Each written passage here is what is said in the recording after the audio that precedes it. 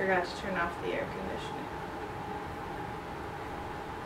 Just turn off, please.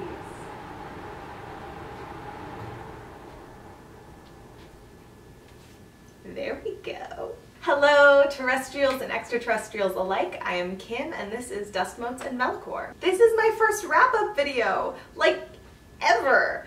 I read a bunch of books in October, and I don't have time, I do not have time to make a review of each of them.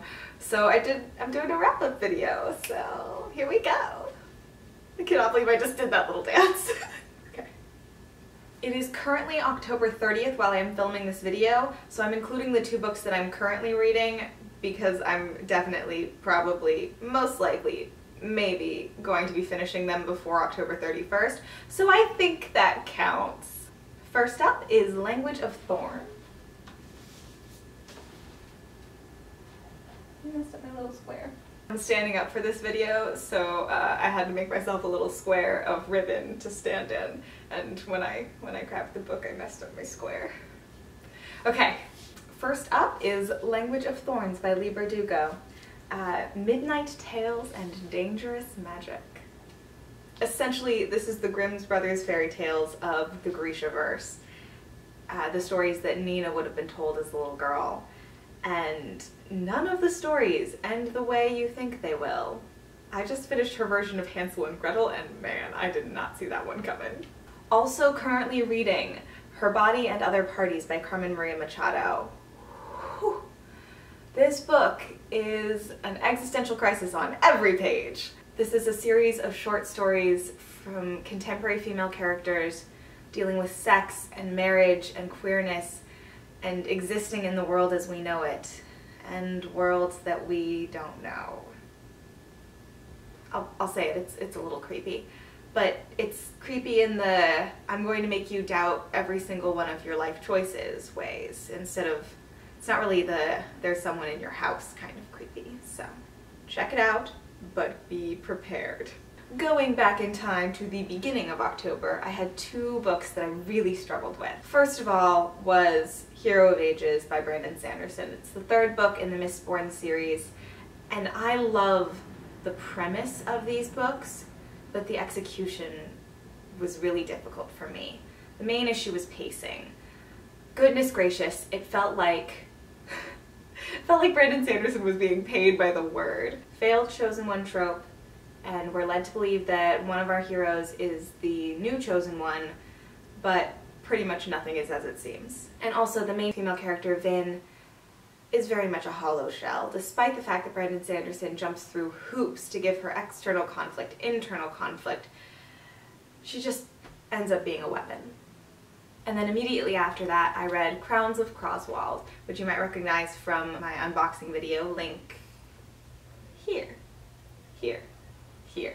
That's better. That's smarter. I struggled with this one right off the bat because the, the author, D.E. Night, wrote herself into her own book as a male character, also called D.E. Night, and made the entire premise of the book that there was a spell that our main character Ivy had to break in order to find D.E. Night.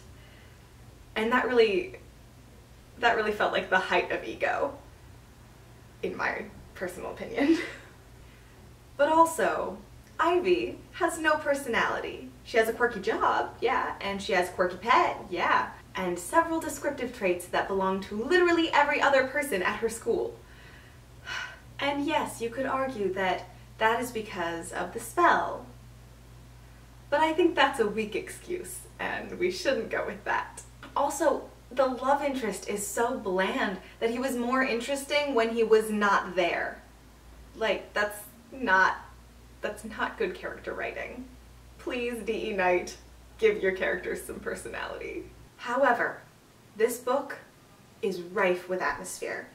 It's like Fantasia and Weasley's Wizarding Wheezies had a baby that exploded.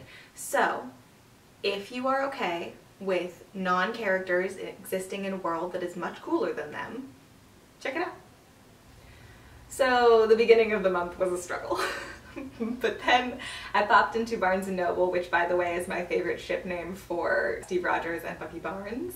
think about that one for a little bit. I could not, not pick up a copy of An Enchantment of Ravens by Margaret Rogerson. Delicious, hilarious, heartbreaking. A fae tale if ever there was one. It is the story of a young woman who is excellent at portrait painting. And if you know your fairy stories, you know that fae cannot resist human craft. But when she paints a true portrait of the Prince of Autumn and his secret, hidden, centuries-old heartbreak, she gets in a little bit of trouble. She gets kidnapped into the woods to stand trial for her crimes.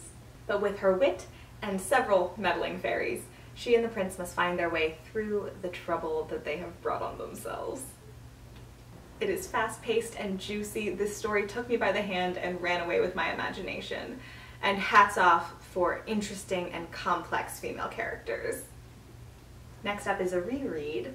My book club started off with one of my favorite books, Dealing with Dragons. Rich in whimsy, our strong-minded Princess Cimorene runs away to volunteer to be a dragon's princess, a position one is usually kidnapped into. Navigating through a world of dragons and witches and genies, and unfortunately adventuring princes, Cimorene fights for the life that she wants instead of the life that it would be proper for her to have. Then came A Gentleman's Guide to Vice and Virtue by Mackenzie Lee. Now, this is possibly one of the gayest books I have ever read, and that is like high praise in my mind. Lush, romantic, deeply character driven, this book is a romp if ever I read one. Monty, a bisexual lordling set to inherit an earldom? Not sure. Uh, but his name is Monty, and he is in love with his best friend Percy, and the litany of reasons they cannot be together is long. The story follows Percy, Monty, and Monty's sister Felicity as they go on their tour of Europe. Everybody's got secrets, Monty's a rake, they, at one point they get kidnapped by pirates, basically it's just fun. Next was The Darkest Part of the Forest by Holly Black. Meet Hazel and her brother Ben,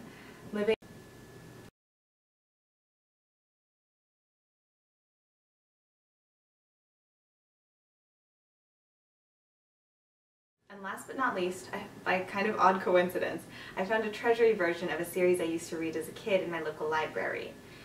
The series is called Sweep, it's by Cate Tiernan, and this is the first three books, so one book, three books. And also, some rude person with a purple pen has been like doodling within this book, and I'm really irritated by that, so they need to stop. Set in upstate New York in the age of dial-up, a young girl meets a young boy who starts teaching her about Wicca. It's not supposed to be today. Today is Monday. That only happens on Tuesdays. Why are you here? Okay, we're gonna do this. I'm sorry.